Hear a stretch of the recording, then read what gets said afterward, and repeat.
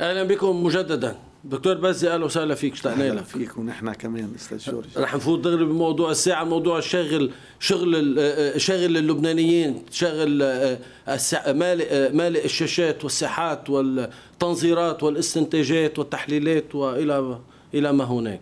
اجتماع اللجنة الوزارية امبارح كان غلب عليه طابع المجاملة أكثر ما غلب عليه طابع الجد والمناقشة. ليه لأنه واضح إنه الرئيس الحريري من خلال هيدا الاجتماع طبعا تحية لك ولمشاهدي تي في وسهلا فيك.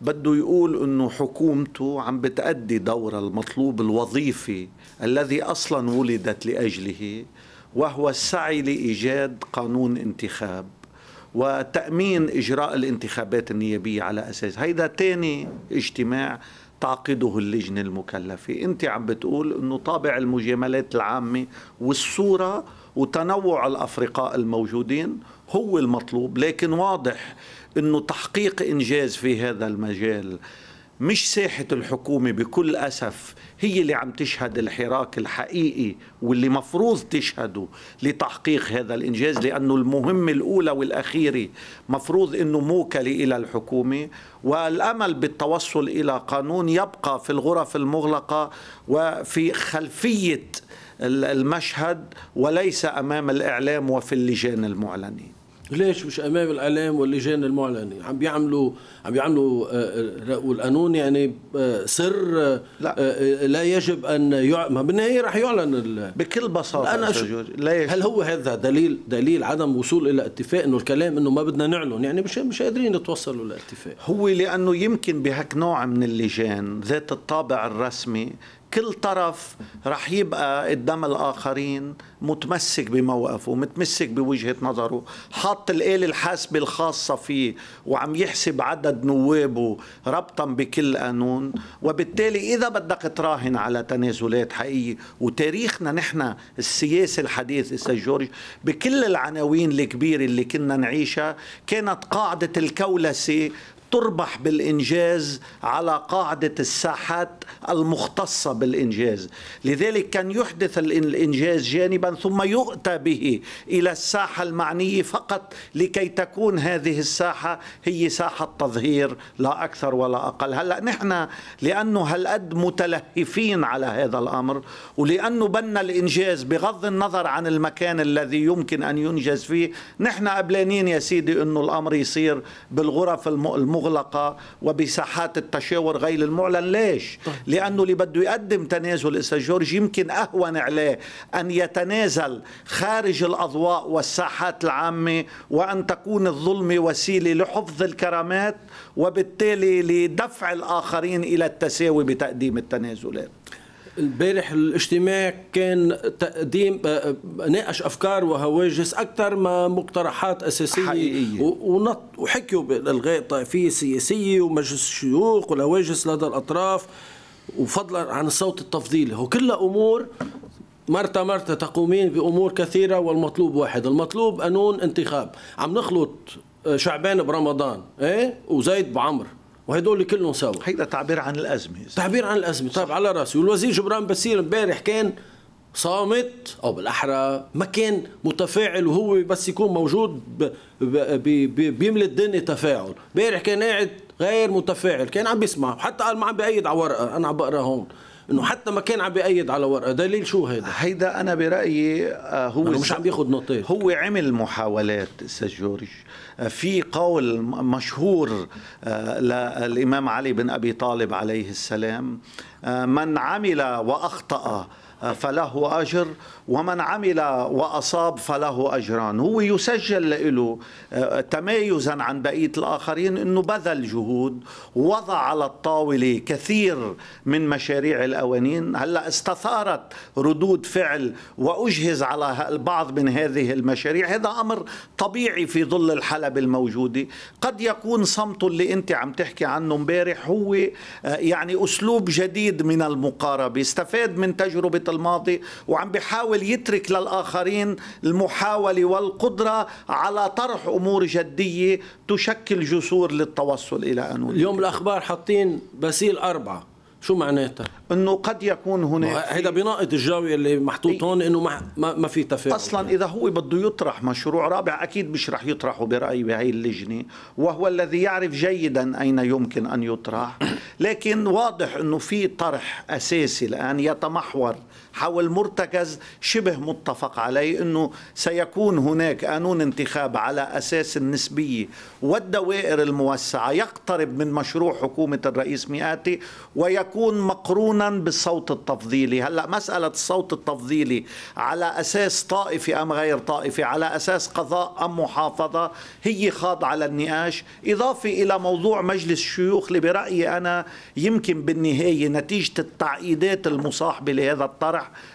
إنه يكون مستبعد كخيار شريك لقانون الانتخاب باللحظة الحالية، في وجهة نظر ثانية بتقول لا أستاذ جورج إنه لا رح يكون هناك مجلس شيوخ وهناك التزام أيضا بإنه أول مجلس نيابي منتخب على أساس القيد غير الطائفي يكون في مبدأ المناصفة مراعى بشكل أو بآخر، وهذا تناقشت أنا وياك فيه بالكواليس من يومين. بالكواليس بس ما من دون من دون ما يكون في لا لا إلي ولا لا لك يكون في آه، قرار بهيدي النقطة. بالموضوع. بس بالنهاية. طيب خليني أنا أرجع أنا وياك لموضوع التنازلات عم بتقول حضرتك دكتور بزي تنازلات شو هي التنازلات شو يعني التنازلات خلينا نحدد للناس مفهوم إيه ومعادلة التنازلات شو يعني التنازلات أولا أنا بدي أرجع للخطاب الأخير لسماحة السيد حسن نصر الله ولموقف فخامة رئيس الجمهورية بالأمس. أنا برأيي أنه صحيح مسألة القانون أستاذ جورج هي مسألة وجودية مصيرية للبنانيين.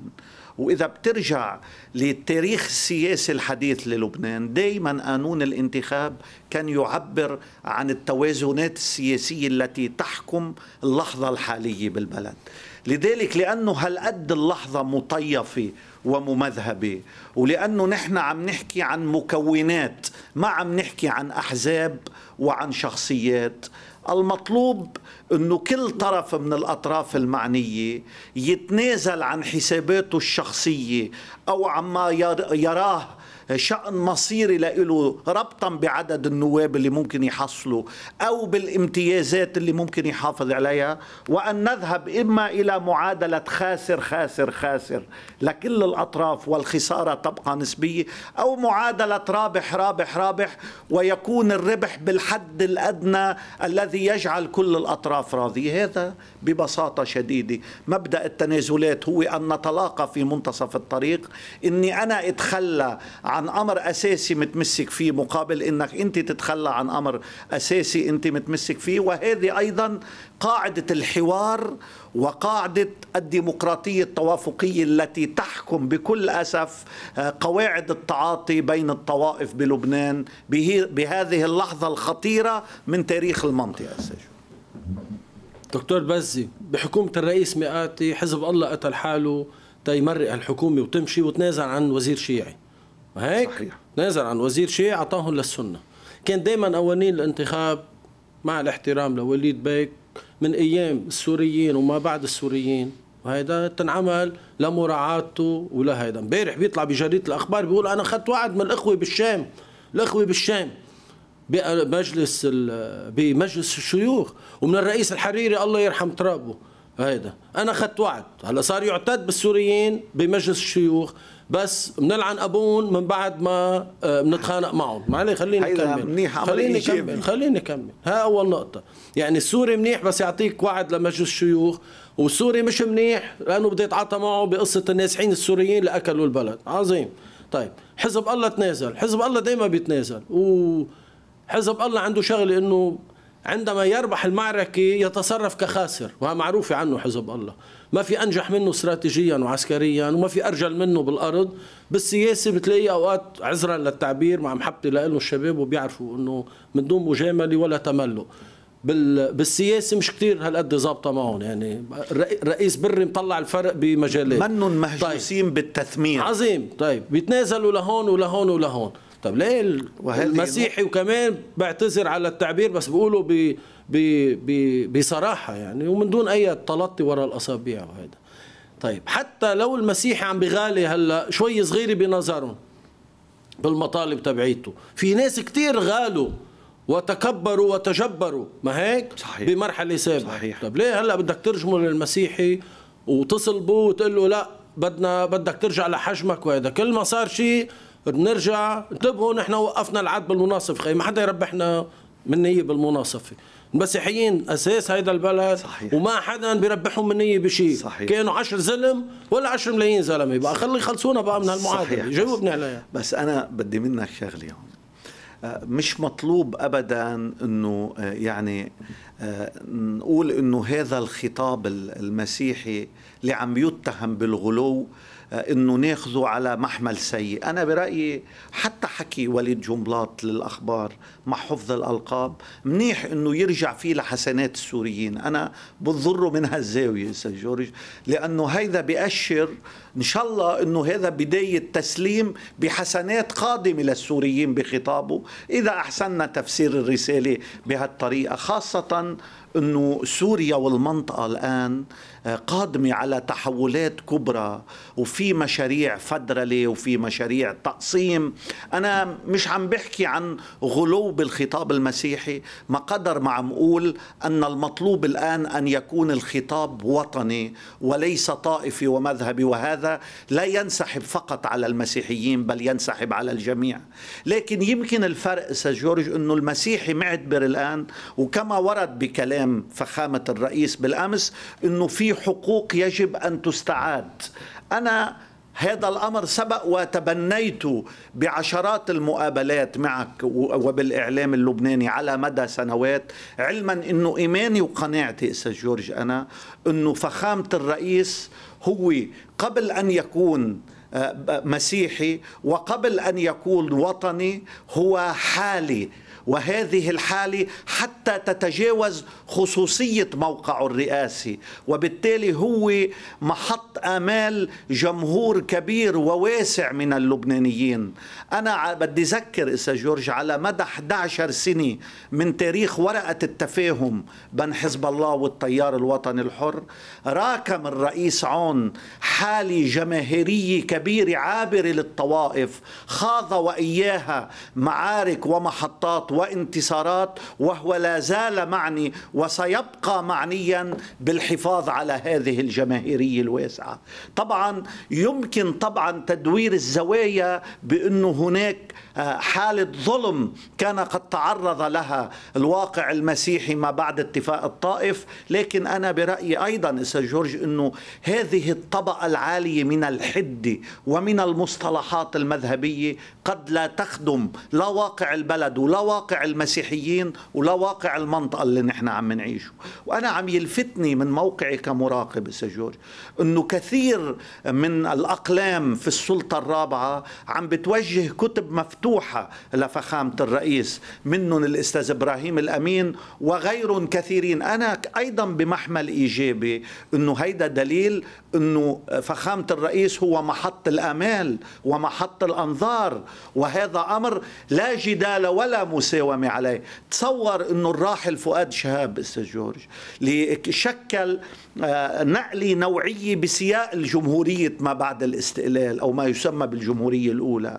آه، لأنه آه، راح على مأسسة العلاقة داخل الدولة لا زال حتى الآن يذكر التاريخ بهذه الأحرف المضيئة. الرئيس لحود أيضا بموضوع التحرير وإخراج العدو الإسرائيلي من الأرض هو علامة مضيئة. وميشيل عون بنفس هذا السياق سيكون وهو علامة مضيئة في إطار الشراكة في إطار الانفتاح على الآخر في إطار نقل الخطاب المسيحي نقلة تاريخية ونوعية نحو المدى الأوسع نحو المشرقية نحو التفاعل والتحالف مع المقاومة.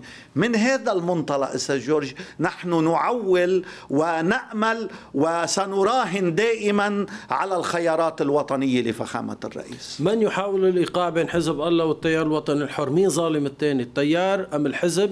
أم هناك من يريد للإثنين أن يظلموا بعضهم ويرتاح ويقول أنه أنا آه، خدت بطاري هلأ وفرضت التحالف وعلقتهم ببعضهم للجامعة وما أكثرهم حلو. المصادين بالماء حلو كثير هذا السؤال وجريء.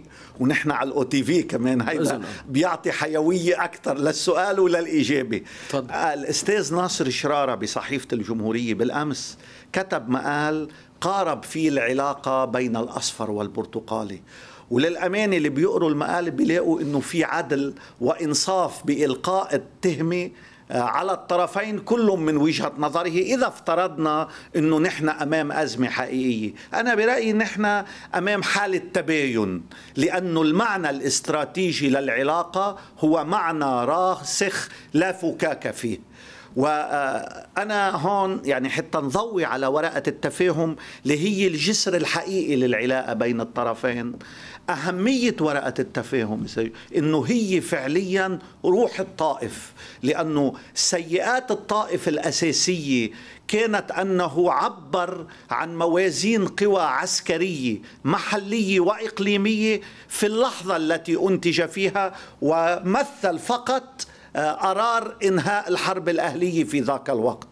أما ورقة التفاهم فهي إجت فعليا لتعبي الفراغات ولترسم الخريطة لمرحلة ما بعد الطائف.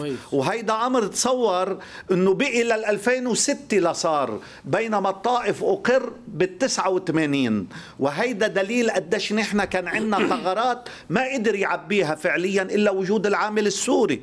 وإلا كانت بجت من أول لحظة بالتطبيق وبالممارسة.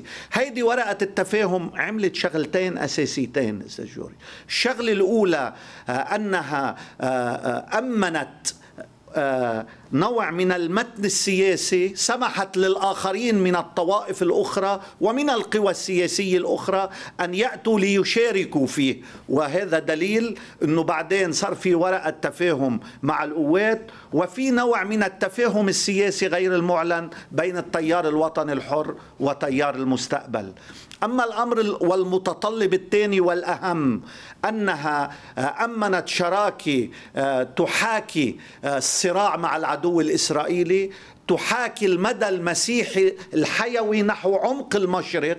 ولاحظ أستاذ جورج إنه المسيحيين اضطهدوا من الأقليات ومن الأكثريات في المنطقة، أول مضطهد للمسيحي كان الإسرائيلي وداخل فلسطين المحتلة وهذا أمر موجود وقائم حتى قبل الربيع العربي، أما الأكثريات بكل أسف فهي فعلت ما فعلته بالمسيحيين في العراق وسوريا وفي دول أخرى. وحتى الذي يجري في مصر منظر مؤلم وفي الاضطهاد الاضطهاد لهذا الوجود اللي هو جزء حضاري وتاريخي من منطقتنا. هيدي ورقة التفاهم آه، بالنهاية آه، هي ثابتة استراتيجية. أما بالجواب المباشر على السؤال صحيح أنه في تباين الآن بالسياسة حول مسألة القانون. وهذا أنا برأيي حتى الآن مشروع ومباح وإيجابي ويدفع ويحفز أكثر على التوصل إلى تفاهمات. لكن الصحيح أيضا أنه حزب الله مستهدف من قوى عالمية تقود الولايات المتحدة وإسرائيل. بدك تقول وسيم شو؟ ليش دخل هذا العنوان بالقراءة؟ والصحيح أيضا أنه يمكن في قوى داخلية لبنانية موجودة على الحلبة السياسية قد تكون خلفية خياراتها ومقارباتها حاليا هي إيجاد شرخ بالعلاقة بين التيار الوطني الحر وحزب الله. أنا ما بدي يكون سيء النية. كل طرف سياسي حقه يدافع عن مصالحه. يمكن الرئيس الحريري بشطارة سياسية تسجل له أو يمكن بحالة وهن وضعف عم بيعيشها عم بيحاول آه، ينجز مع التيار الوطني الحر آه، ومع آه، يعني العهد حالة مركبة من المصالح السياسية وغير السياسية وهو قد يكون مكلف. أنا ماني متأكد هون ومدفوع من قوى خارجية نحو الهدف الأكبر والأسمى وهو شرخ العلاقة بين حزب الله وبين التيار الوطني الحر لأنه الأمريكي بالذات أدرك منذ 2006 أن هذه العلاقة مكون مركزي في حالة التصدي والصمود لهذه المقاومة ولحالة التعايش والشراكة في لبنان هل هناك من يقول داخل حزب الله وقواعد حزب الله أنه خياراتنا كانت خاطئة؟ يعني رغم إنه بعض الأقلام بالبلد آه، يحاكيها شغف وشوق للوصول إلى هذا الاستنتاج لكن حزب الله بهدوءه وباتزانه وبإيمانه بفخامة الرئيس وبعمق العلاقة مع التيار الوطني الحر يضحك على هذه الطروحات وبالتالي يعني هي لا زالت أمنيات ولا أعتقد أنها يعني ستتحول إلى وقائع لا سمح الله. العلاقة بعد انتخاب الرئيس الجمهورية العماد عون آه، صارت بروتوكولية على مستوى الشخصين القطب على مستوى الرئيس عون وسماحة السيد آه، هلا أكيد امنيا آه، سماحة السيد ما في يزور بعبده وبروتوكوليا فخامة الرئيس أكيد ما بيزور هيدي المعادلة هيدي. المعادلة صحيحة. لكن السؤال هون المطروح هل قصة قانون الانتخاب هي بس السبب الأساسي؟ يعني الكلام هون في ناس كمان بس خلينا اللي محبين اللي محبين كتار. إنه ليس السبب الوحيد. ضربة الشعيرات لموقف رسمي من رئيس الجمهورية على الاحتجاج على ضرب الأمريكية لسوريا واللي انطال فيها حسب الله كمان كما قال انزعاج من مرافقه وزير الدفاع وقائد الجيش للحريري إلى الجنوب إلى الناقورة. اجتماع بعبد الأخير اللي صار والموقف يعني العتب والتباين اللي صار بين الوزير باسيل و الشيخ نعيم قاسم ووفد حزب الله. هيدول كلهم سوا ما لهم طعمة قدام قانون الانتخاب ولا في شيء له علاقه باكثر من قانون الانتخاب وعم بي عم بيراكم. خلينا نحكي بصراحة. إيه. نحكي بصراحة. اولا اولا بموضوع البروتوكول. الرئيس عون لما كان بالرابية كان آه، كثير من القوى والشخصيات آه، والأطراف. ويمكن أنا بحجم الصغير كان لي شرف مرتين أني زور الرئيس عون في الرابية قبل الرئاسة.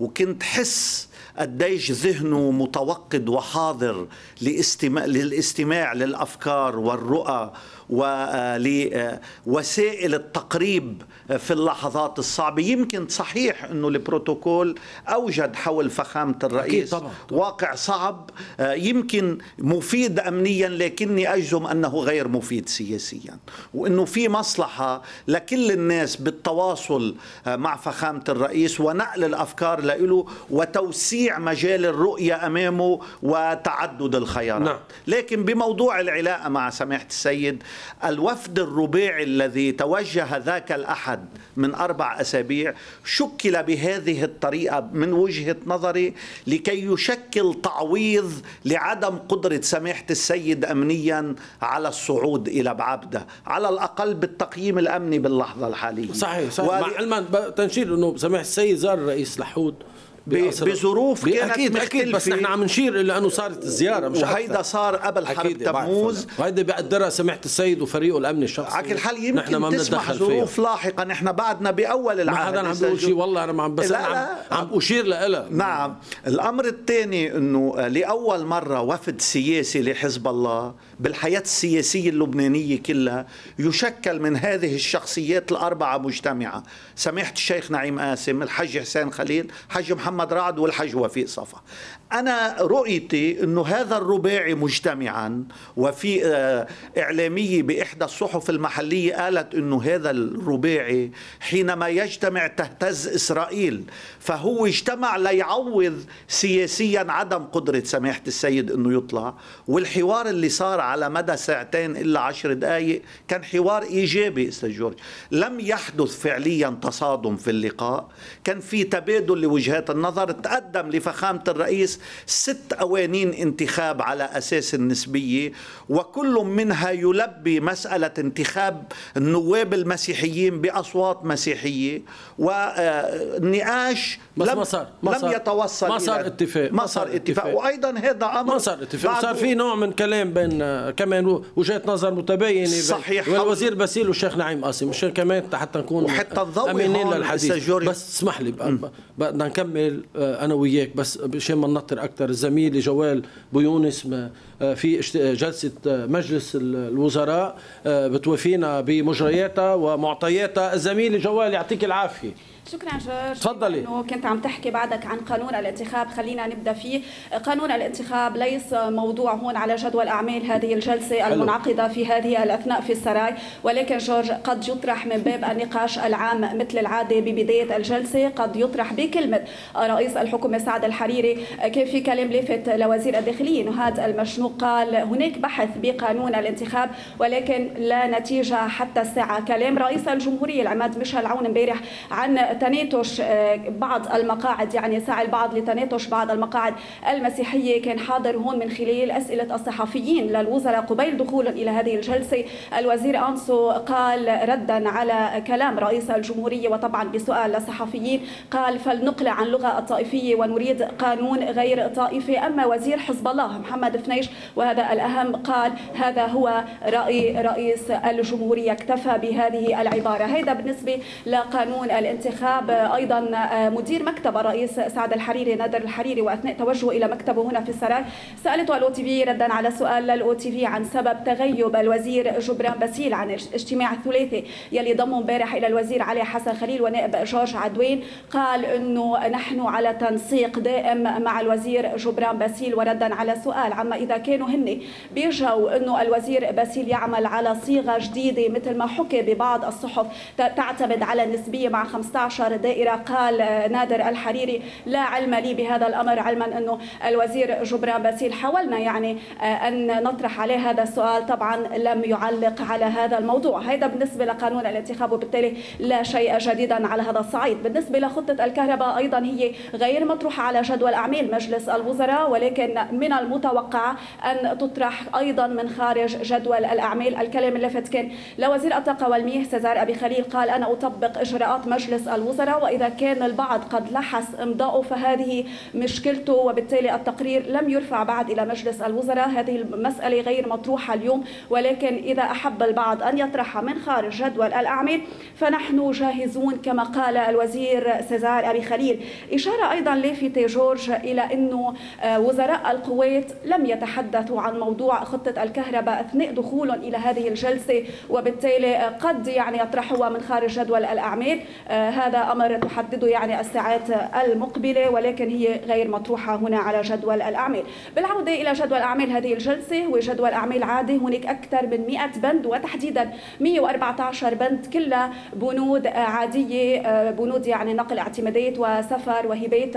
آه، هناك بحسب معلومات ال OTV بحسب معلومات ال OTV جورج بس إشارة إيه. إلى إنه مجلس الوزراء قد يعمد ويخصص مبلغ 250 ألف دولار إلى من يدلي أو من لديه معلومات عن المطرنين المخطوفين اليازجي وإبراهيم. هذه يعني آه، أبرز البنود اليوم على جدول الأعمال وبالتالي كلها بنود عادية. جورج؟ شكرا لك زميلي جوال بيونس من مجلس الوزراء. ما شاء الله ما شاء الله. جلسة مهمة كثير. بدك لبنانية هلأ عم بيفروا فر من الفرح. جلسة موضوع أساسي ومصيري قانون الانتخاب. ما في شيء مش على جدول أمام مجلس وزراء والقضايا الثانية كلهم سوا. بس أهم شيء نقل الاعتمادات وسفريات طبعا وكذا. لأنه هيدا أهم شيء بالحقيقة لأنه اللبنانية هلأ ما, ما رح يناموا بالليل قبل ما يعرفوا إذا صار في نقل اعتمادات حرام لأنه في ناس في ناس مظلومين. التبادلية في المصالح بجدول الأعمال. أنا بموضوع الكهرباء بس لي تعليق صغير أستاذ جورج. بدك تعلق على الكهرباء؟ إيه على موضوع معلق أنت أساسا؟ ولا بتدفع والله بدفع فواتير أنا.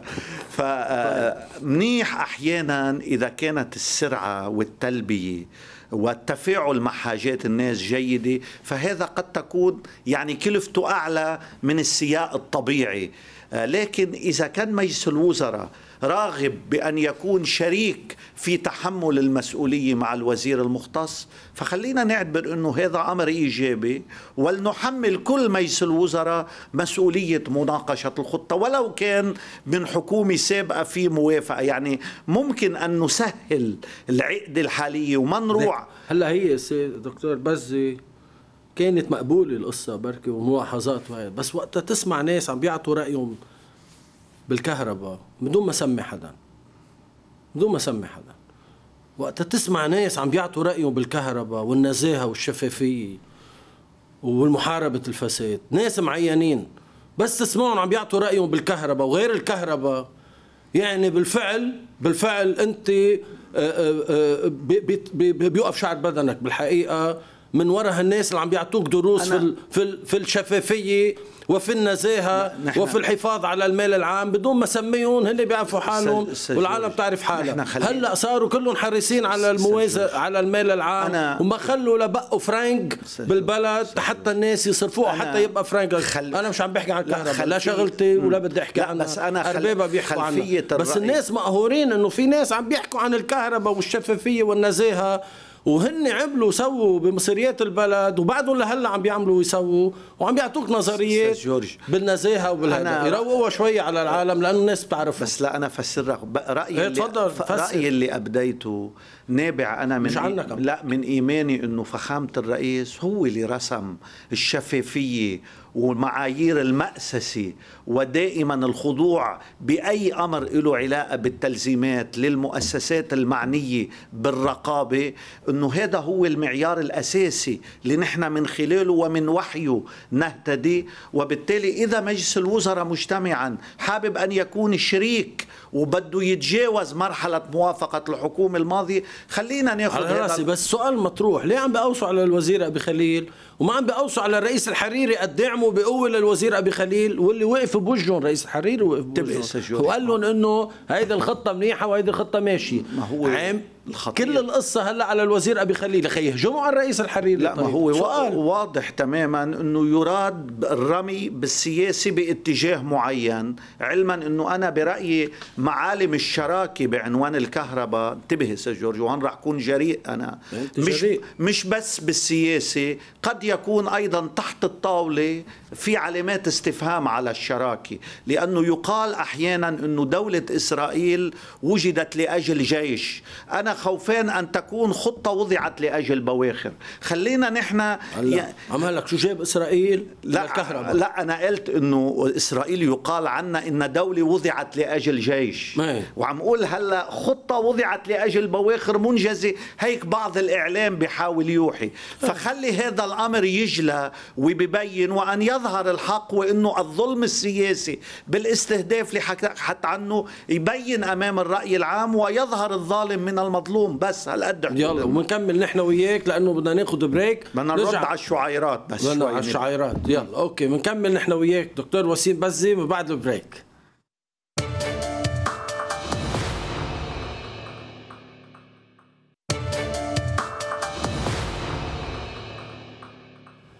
أهلا بكم في حوار اليوم واهلا بالدكتور وسيم بزي الكاتب والباحث السياسي. أهلا وسهلا فيك أهلا دكتور فيك بزي. أهلا فيك. هل هناك انزعاج من العلاقة بين الرئيس الحريري والتيار الوطني الحر؟ تحديدا بين الوزير جبران بسير وبين الرئيس الحريري. بين الرئيس الحريري و الرئيس عون. آه، فخامة الرئيس عون يعني فخامة الرئيس بيقول له تفضل آه، آه، عد كمل جلسة مجلس وزراء عني. وهيدي منا سابقة. صارت قبل بالعهود السابقة. صارت إنه ما صارت كثير بس صارت. آه، رئيس مئاتي كان عنده ملاحظات عليها وصار سجال تويتري بيناتهم. آه، في ملاحظات من الحريق من الوزير جنبلاط النائب جنبلاط امبارح بحديثه للأخبار. شو بيقولوا؟ مثل عم بيذبح بالقطنة. ضد الرئيس الحريري إنه أنت وينك رايح؟ وينك رايح مع العونيين؟ وهيدا. القوات اللبنانية رجعوا إنه نحن نتفهم واجس آه، نائب جنبلاط في نوع من جبهة بري القوات جنبلاط آه، مردا ومقابل الحريري آه، عون ما هيك وبالنص وقف حزب الله. عم بيشوف هون. وعم بيشوفهم وما عنده مشكلة بالتعامل مع اثنين.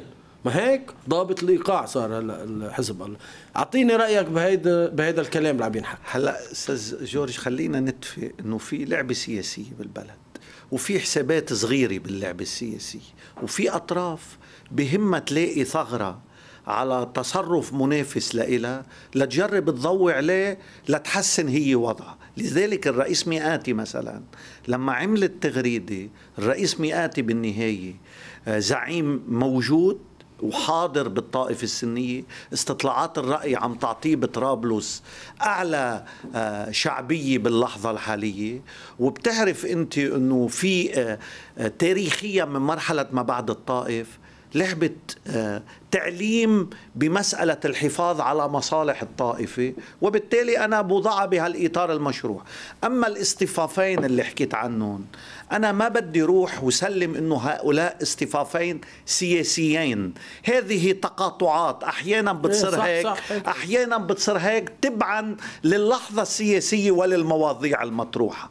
لكن أنا ما عندي شك آه، إنه آه، يعني العلاقة بين الرئيس عون والرئيس الحريري مطلوبه وضروريه لانتظام الدولي وسير عمل المؤسسات السجوري أما التلاقي السياسي بين تيار المستقبل والتيار الوطني الحر بتصير مسألة ثانية هي.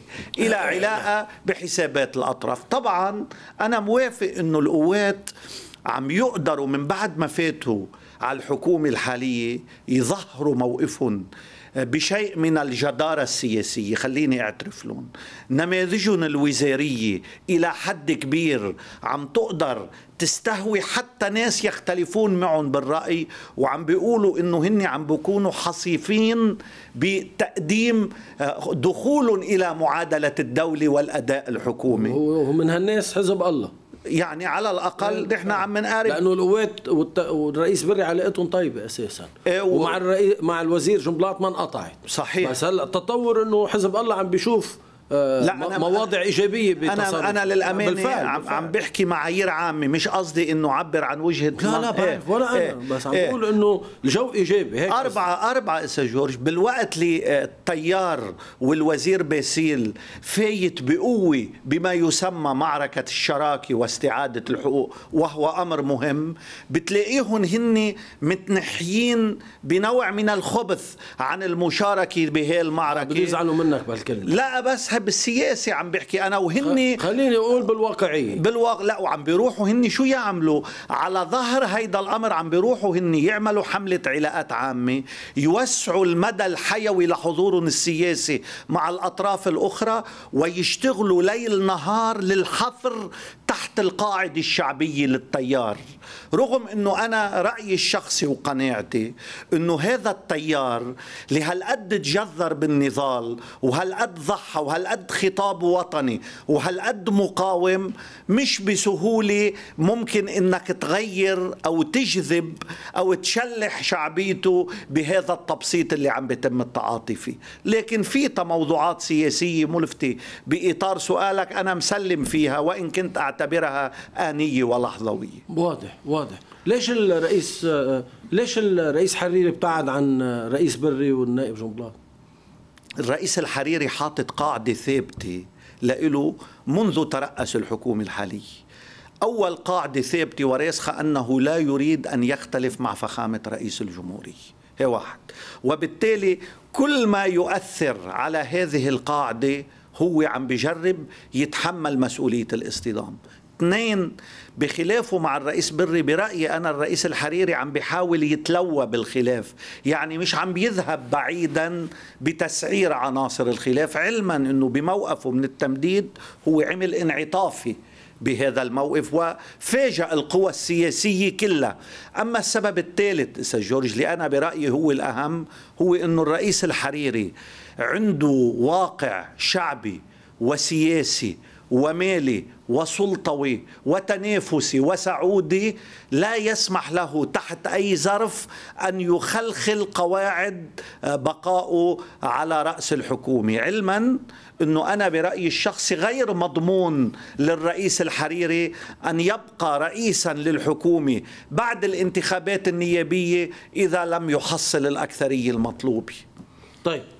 ليش ليش الرئيس بري عم بيشاغب على الرئيس الحريري؟ مثلا بالتعيينات الأمنية توقيف مخصصات آه، لواء عثمان مدير عام قوى الأمن الداخلي. أول بعد ما ولا مرة صارت هي. كنا بقصة أمن الدولة صرنا هلأ بالأمن الداخلي.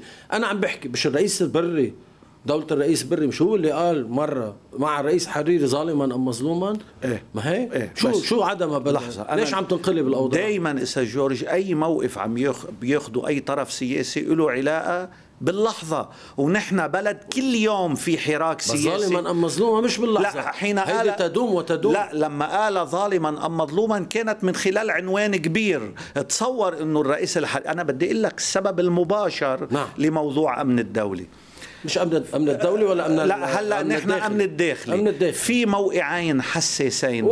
تاريخيا ما أخذوا برايه لرئيس مرحلة ما بعد الطائف كل الحكومات التي تعاقبت رئيس فصيلة الشمال الإقليمية في قوى الأمن الداخلي OK. ومسؤول الأمن العسكري بفرع المعلومات. OK. وهذا الأمر مثل انتبه ما الرئيس الحريري عنده بأجهزة أخرى ضباط محسوب هذا واقع البلد وهذا واقع الدولة محسوبين عليه. حدا في عينة النائب الثاني لمدير المخابرات مثلا بالجيش دون أن يكون للرئيس الحريري رأي أو دالة وهلأ هو العميد مخللاتي أو العقيد مخللاتي اللي إجا بالتعيينات الأخيرة. وهذا الأمر ينسحب على كل الأجهزة الأمنية. ببساطة شديدة الرئيس بري ابن هذه اللعبة السياسية وعنصر مؤثر فيها وهو شريك مؤسس OK. بمرحلة الطائف لذلك من الطبيعي سجورج ألا يتهاون بما يعتبر وانتبه هن هالمركزين الوحيدين اللي بالكاد يبين سياسيا فيهم الحضور الشيعي بمؤسسة قوى الأمن. عب نحكي هيك عب ننزل يا عمي مش معقول شو مظلومين. هذا واقع مش معقول واقع الخطاب المؤسف بالبلد بالفعل بالفعل بالحقيقة كيف محيدين ومقصيين يعني ومهمشين. نحن بنعتبر أستاذ جورج إنه أكبر ممثل لنا بمؤسسة الأمن العام عند اللواء إبراهيم هو أنت. لا هيدا. اللواء إبراهيم بيمثل الكل. وقد الكل وقد الدنيا كلها اللواء إبراهيم. نحن لا. عم نمزح بمحبة هو هيك ما نحن عم لا عم بحكي عم تحكي أنت حضرتك في قوى الأمن الداخلي عم لك شو مظلومين. لك لك البلد كله بي عندهم عندهم يوم. ممثلنا أنت اللواء إبراهيم حبيب قلبي. أنا أكبر شرف. خلي لي إياك. تاج الراس اللواء إبراهيم. حبيب قلبنا وهيدي ما بدنا نزيد أكثر من هيك لأنه نعم. ربنا بيعرف المحبة. هاي على جنب. بس خلينا بقوى الأمن الداخلي. هلا شو بدك رحت عند اللواء إبراهيم؟ يلي يلي كل شيء أنا هلا بعدين اعطت الأمن العام مثل كمؤسسه لأنه خير شو بيقولوا؟ المعيار الوطني فيها هو الأعلى دائما. الامن العام واللواء إبراهيم خارج المنافسه ما هي؟ خارج المنافسه صحيح. بننبش على أشياء آه، بعد آه، غيرهم حتى نقارنهم. أنا اللي عم بقوله بموضوع العلاقة بين الرئيس بري والرئيس الرئيس الحريري. اجى قال له ما بدي تمديد. طيب بكرة إذا انطلب فتح دورة استثنائية فخامة الرئيس ودوله الرئيس الحريري. كلام إنه رئيس بري ما عنده مشكلة بس كمان بركي يقول لهم إنه لا أنا ردي شو؟ ردي. كيف بيردها هيدي الشغلة؟ إذا لاحظت لما لأنه وصلنا رح نوصل على 15 أيار و31 أيار و... لا لا يعني انتهى العقد العادي. لاحظ أستاذ جورج لما فخامة رئيس الجمهورية استعمل حقه الدستوري بإيقاف آه، عمل المجلس النيابي لمدة شهر؟ ردة فعل الرئيس بري إجت بعد ست دقائق تماما من بيان فخامة الرئيس. ومباشرة أعلن نقل موعد الجلسة من 15 نيسان ل 15 أيار وهذا الأمر كان فيه استجابة دستورية وسياسية كان في يرفض؟ لا لحق فخامة OK. الرئيس ما في يرفض ولا أنا لوين بدي اوصلك إنه طيب. كمان لما بده يبادر رئيس الجمهورية ورئيس الحكومة إلى فتح دورة استثنائية اعتبارا من واحد حزيران ما راح يرفض الرئيس بري لأنه راح يعتبر إنه هيدا توسيع للمدى الحيوي لفرصة البحث عن قانون انتخاب ولابقاء إبقاء أبواب الحوار مفتوحة حتى ما قبل عشرين حزيران. أما مسألة أنه نتوصل أو لا نتوصل ماذا سيحدث بالأجندة؟ وأي مخاطر ودرك أسفل سيتعرض له لبنان؟ أنا بتمنى ألا نخوض في هذه المتاهة ونبقي التركيز على أولوية الأمل بالتوصل إلى قانون. على رأسي أي أساس اللي بس ملامح ملامح. ما فينا نقعد بلا قانون. لأنه البديل عن القانون أسوأ أسوأ بكثير. يعني أي قانون سيء بده يطلع. البديل عن عدم وجود قانون والتوصل إلى قانون سيكون أسوأ. بتوافقني؟ أكيد. طيب لكن نحن هلأ بين قانون ولو سيء وبين وضع مقبلين عليه لا سمح الله سيكون أسوأ. صحيح. لكن لأنه هالقد أمال الناس شاخصة.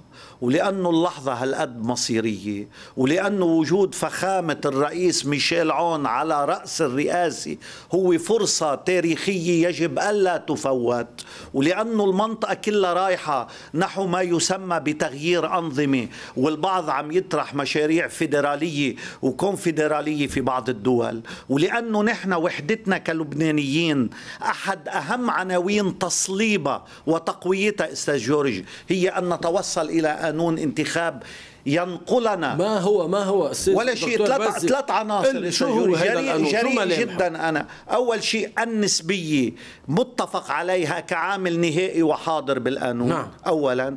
اثنين الدوائر الموسعة التي قد تكبر أو تصغر. ما رح نختلف. بين 13 و15 يمكن الرئيس الحريري عنده عقدة مع اسم مشروع حكومة الرئيس مئاتي.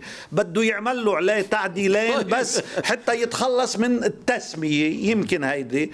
العنوان الثالث الصوت التفضيلي والذي يفضل أن يكون على أساس دوائر موسعة وألا يكون طائفية هيدي العناصر الثلاثة إذا ربطت بمجلس الشيوخ بيكون منيح وإذا ما ربطت بمجلس الشيوخ فلتكن هي الحد الأدنى المتفاهم عليه. خاصة أنه أصلا فخامة الرئيس عون بعشرات المواقف بالماضي هو كان المدافع الأول عن النسبية كخيار أستاذ جورج. طيب. وبالتالي نحن كلبنانيين. 100% عندنا أمال. ورقه التفاهم كمان بين التيار وبين نصت بوضوح على هذا صحيح الأمر. صحيح صحيح. لكن امبارح فخامة الرئيس حكى عن التاهيلي ما ما في مشكلة. يعني هو قبل ليك معلش هيدي ما حدا بفوت بين سماحة السيد وبين فخامة الرئيس. صحيح. ما حدا بفوت فيهم.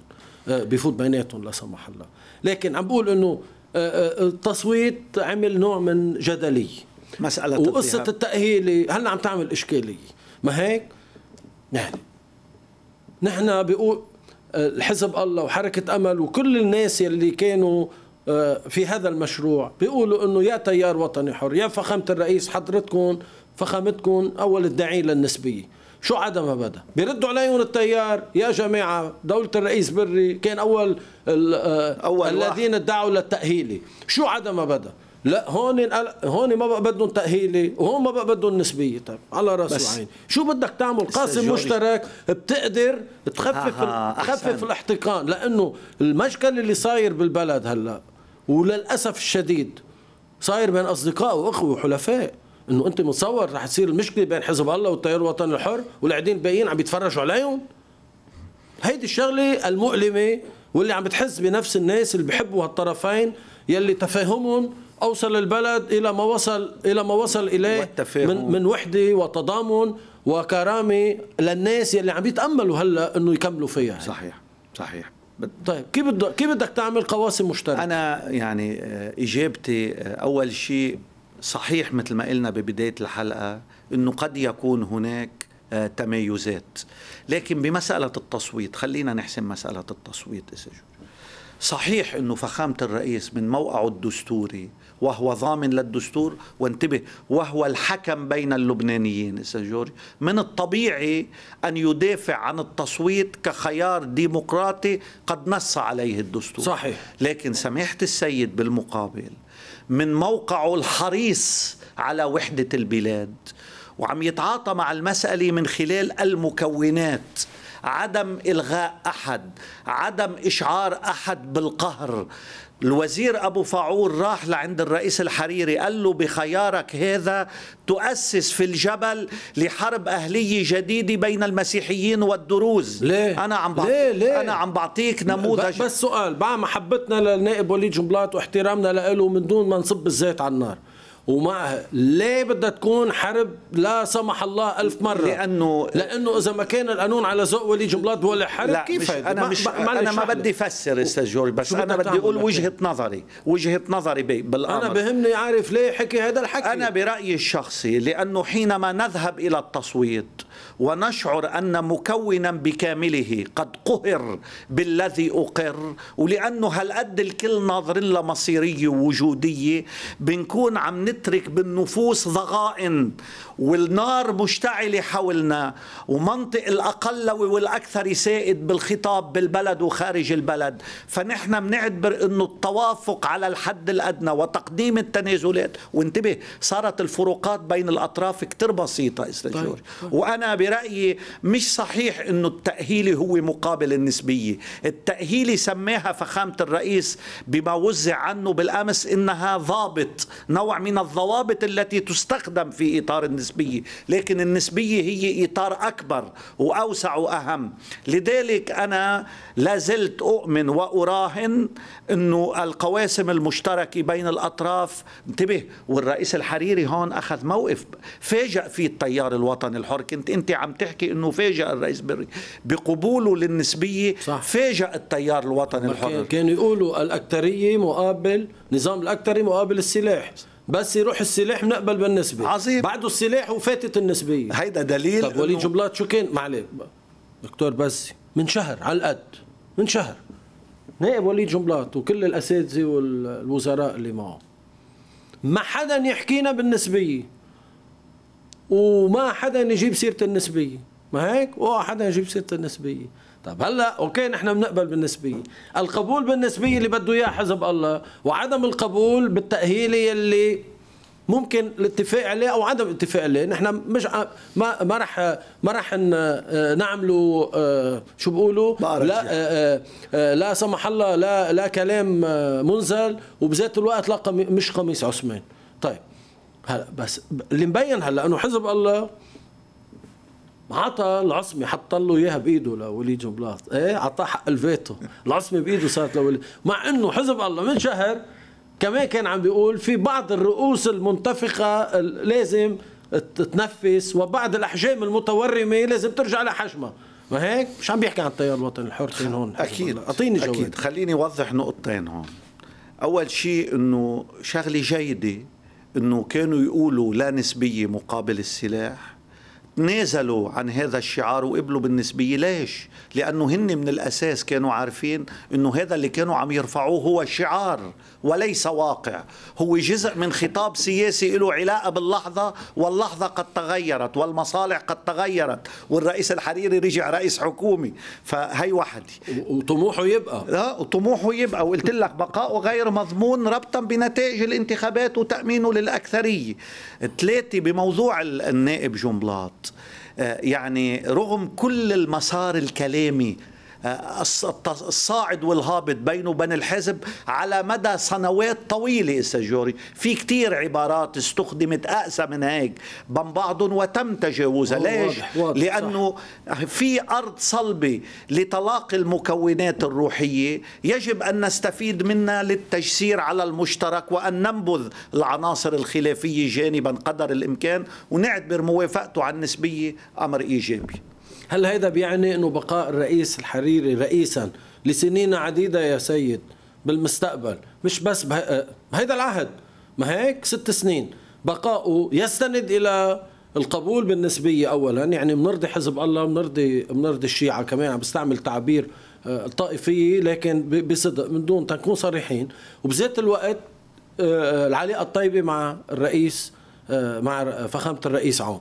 هذا يعني هلأ الرئيس الحريري كما يذكر ويقرأ ويحلل آه، عم بيلعب آه، دور آه، محوري بهيدي بهيدي المرحلة. صحيح هذا الكلام؟ عم يلعب دور شخص صلح إذا بدك يعني. شخص صلح شخص صلح إيه. هلأ هيدا بس المصلح له تلتين هلأ هلأ. مصلح له ثلثين القتله إن شاء الله ما تطلعش النتيجة هيك. إن شاء الله ما تطلعش هيك. على على, على كل أنت يلا طلعت فطين بالتفسير الإضافي للفكرة يعني. هون لا عم نمزح هون أستاذ الرئيس الحريري. هون أستاذ جورجي المسألة وين؟ إنه هو بقراءته لمصالحه وتشخيصه لإلها ولحقيقة واقعه السياسي الداخلي والخارجي ضاقت أمامه الخيارات وأنا برأيي هو طلع كثير مرن وذكي وعرف يشتغل بالسياسة لما تموضع بالموقع اللي انت وصفته قبل شوي وهي عم يجني ثمار نعم. على أمل أن تكون هذه الثمار بالسياسة أن تكون في إطار تحصين الدولة وليس بإطار لعبة مغانم ومكاسب تريد أن تنهب من الدولة لصالح تعويض واقع معين هو عم بيعيشه أنا لا سمح الله عم بفترض هذا الأمر افتراضا ومش بدي اعتبره أنه أمر حاصل. طيب. جملات للأخبار امبارح. نعم. كلام القوات متميز عن التيار وهذا ما أكده لي عدوان. حلف بين التيار والمستقبل لا يستهدفنا لكنه يضعنا خارجا. لابد من الحركة التصحيحية التي قمنا بها. شو هي حركة التصحيحية التي قام بها؟ هلا هو يمكن تفسيري أنا أنه هاي الحركة التصحيحية هو انزياحه باتجاه الثنائي الشيعي وابتعاده عن المستقبل مثل ما أنا عم بفهمها وابتعاده عن المستقبل وهذا قد يكون مقدمة إلى إعادة تموضع استراتيجي خارج التفاصيل المحلية لأنه هلأ انت قلت لي عن قصة سوريا والإخوان السوريين وانت عارف الآن إنه في قوات أمريكية وبريطانية تتحرك جنوب سوريا وفي حديث عن مناطق عازلة وما قد تتعرض له منطقة السويدة ودروز آه، سوريا. صحيح. هذه كلها مخاطر محيطة إسا جورج. هو المهم أنه ما يكون في حدا عم براهن باللعب الداخلية بالبلد على دونالد ترامب كرجل يحمل متغيرات ويسعى لتغيير قواعد اللعبة عبر استهداف المقاومة وحلف المقاومة في المنطقة. على رأسي بس خليني أقول شغلي استخلاصا واستنتاجا. كل هالتطورات يلي نحن عم نعيشها عدوان إسرائيلي محتمل عدوان أمريكي آه، غربي تحالف دولي كمان محتمل. عقوبات جاية توترات في المنطقة تح يعني آه، المناطق الآمنة أو مناطق تخفيف التوتر كما سميت. بسوريا تقسيم أم تقاسم بعد ما حدا عارف. وما هيدا وكله سوا حزب الله بده يجي يقول لهم يا شباب أنا كثير رايقة معي. أنا كثير آه، هلأ آه، مرتاح. يلا تنعمل انتخابات بلبنان أو نحن بنأيد معلي خلينا نطرح الأمور من هيدي الزاوية. حزب الله باله بالانتخابات هلأ؟ بيقدر بيقدر يكرس ما هيك مجهود سياسي أمني حزبي. الشباب الحزب. لانتخابات بالوقت يلي كل عيونه وطاقاته وشغله كله سوا مكرس هلا للهجمة الجاية عليه بدك يعني إيه لي رأيك فهمي ورأيي. إيه؟ أنا برأيي تضحيات الحزب الكبيرة وهذا العدد الكبير جدا من الشهداء والجرحى وهذا الحضور في ساحات القتال بوجه الإرهاب بسوريا. بالنسبة للحزب واحد من ثماره لهذا الدم هو أن ننتقل بلبنان من قنطرة إلى قنطرة.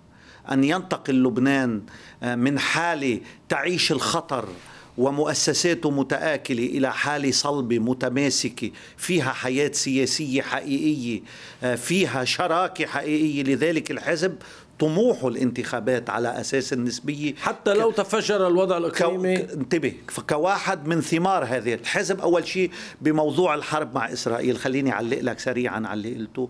منه موجود عندهم بقراءتهم وتقدير إنه خطر الحرب جاثم وقائم وإن كانوا حذرين ومستعدين. عظيم. اثنين بموضوع العقوبات. فخامة الرئيس ميشيل عون قدام ال task force وبمعلومات أنا سمعتها عن لسانه إنه هو منه خايف من موضوع العقوبات وإنه الموضوع عم يتكبر وعم يتهول فيه وإنه نحن قادرين نتجاوز هذا الخط عظيم. هذا الأمر الثاني. بموضوع سوريا والمعركة اللي اللي دائره طبعا مسألة الجنوب السوري وما يجري في البادية خطير. وأجندة ترامب لمحاولة ضرب النبت الاينع والأكثر تجسيدا عن حضور الثورة الإيرانية اللي هو حزب الله ووجوده بالساحات. قد يكون هذا بشكل خطر وحذر علينا بالمرحلة القادمة. لكن أنا بطمنك أستاذ جورج الإيرانيون هم أسياد البر. سيكتشف العالم إنه قد تكون الولايات المتحدة قوية بالتوماهوك والروس قوايا بالسخوي 35 أما الميدان البري في كل ساحات الاشتباك من غزة إلى العراق إلى سوريا إلى أي وين منطقة. غزة؟ وين غزة يا دكتور؟ بزي مش هلا مش, حلوة هل هيدي مش. هلا أعلن عن وثيقة. دكتور. أنا بأكد لك رغم بقول لك ما- ما حماس راحت واعترفت بإسرائيل. صحيح. عمين مين عم يدعموا أنا- أنا- بعد؟ ليك- ليك، كل أنا- واحد بيدعموه بينقلب أنا عليهم. أنا تعمدت أعطي هذا المثل لأقول لك أنه حتى مع هذا الإعلان الإيراني حاضر وموجود وله كلمة هناك. إيه، أنا بدي كيف بده يتعامل مع حماس اللي هلا معترفه لا بإسرائيل؟ هني هيدي مسألة ولا واعترفت هيدا بال 67 يعني في دولة إسرائيل هيدا ودولة هيدا اللي صار موضوع تاني بالسياسة كيف طبعا؟ رح لا لا إيه رح يكون بزي ولا رح يكون له حضرتك عم موقف تفصل من بالسياسي وبين هيدا لا، أنا عم جامع. الوثيقة السياسية تبعيتهم. عملوا مثل منظمة تحرير الفلسطينية أيام ياسر عرفات. قال لهم كادوك يعني وثيقة منظمة تحرير رمي إسرائيل بالبحر وهيدا كادوك وكأن يعني وكأنها لم تكن. إيه، بس هلأ الشباب كادوك خليني أوضح لك هون بس وبشكل سريع.